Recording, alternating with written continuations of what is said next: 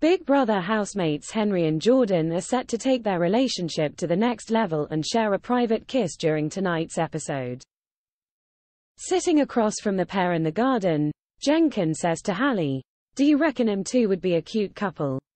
Agreeing, Hallie responds, I've always thought that you know, before Jenkin adds, You can just tell they have a really good relationship.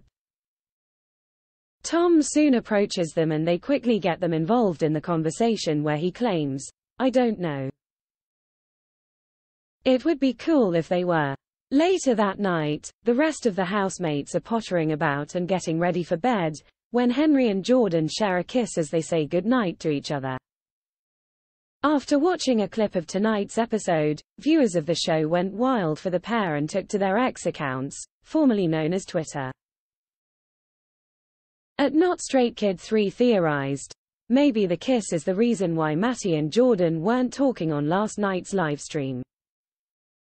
Jordan is getting over Matty and is realizing that maybe he actually likes Henry instead. Sick. One fan wrote, Henry and Jordan kiss OMG. Experience the Express like never before advert-free experience without interruptions.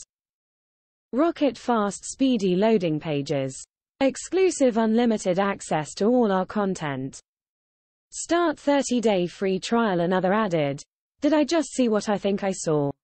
9 p.m. needs to hurry hurry so I can watch this crazy EP. Sick. Elsewhere in the episode, Paul confides in Trish about his argument with Olivia over the weekly shopping task.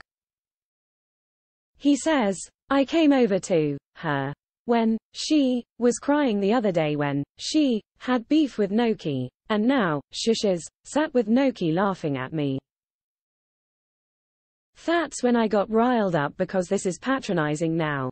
Olivia vents to Big Brother in the diary room and says, It's doing my nut in.